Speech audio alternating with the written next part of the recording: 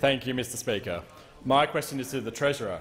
Will the Treasurer outline to the House how the government is delivering essential services and infrastructure for regional Victorians, including in my election of Dunkley?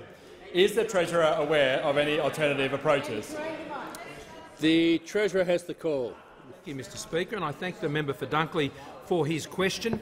He knows that the budget is a plan for a stronger economy, a plan for a stronger economy, and an economy that has, under this government, delivered over a million jobs now, a million jobs delivered around Australia. That is something that was a solemn pledge, a solemn pledge that the member for McMahon didn't believe could happen, but it's one that we believe could happen, and we went to work and set about achieving it together with the businesses and Australians all around the country going out there and getting those jobs. But we know that a stronger economy is what is essential to deliver on the essential services that Australians rely on. That's the guarantee for Medicare. That's the guarantee for pharmaceutical benefit scheme. That's the guarantee for the pension. It's not guaranteed by the empty promises of the Leader of the Opposition. It's guaranteed by the strong economic management of a Turnbull government that has a plan for a stronger economy that can deliver those essential services and guarantee them that Australians rely on. So I was pleased to join the member for Dunkley at Frankston Hospital with the Minister for Health, where we could meet with Ali and Georgie, her mum, who will be benefit, who will be benefiting from the listing of Spinraza.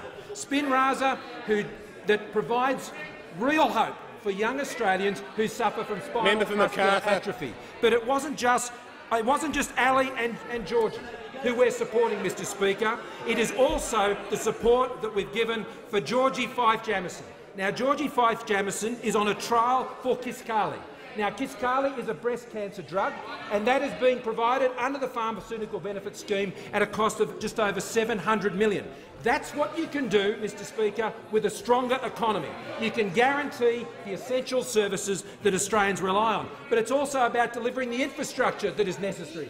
As the, as the member for Dunkley knows, the electrification of the Baxter the Baxter to Frankston line is going to be a big game changer for people who live in his electorate. It means that commuters can get to jobs. It means that patients can get to that hospital at Frankston, Mr Speaker, on public transport, on the electrification of that line. And I want to commend uh, the member for Dunkley for his tireless advocacy to ensuring that this critical congestion-busting infrastructure in Melbourne is being delivered by the Turnbull government. But also we were there with the Seaford Senior Citizens Club and we were down at John Paul College as well. And we were talking about the commitments we're making for ageing Australians, whether it's on the in-home aged care places, 20,000 and the like. But I tell you what they reminded us of when we were there, just how much they resent the Labor Party for coming after their retirement savings, Mr Speaker. The Leader of the Opposition is looking to swipe the tax refunds of hard-working Australians, Mr Speaker. He's got his hands in, his in their pockets and he'll never take them out of them.